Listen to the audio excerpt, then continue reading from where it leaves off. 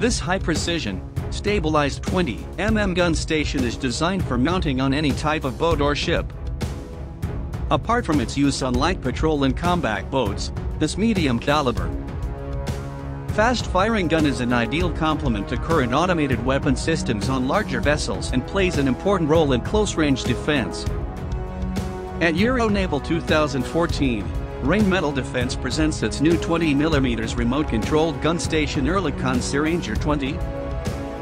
It appears to be the remote-controlled version of the Oerlikon 20mm GAMB-01, a 20mm high-performance gun designed for mounting on any type of ship.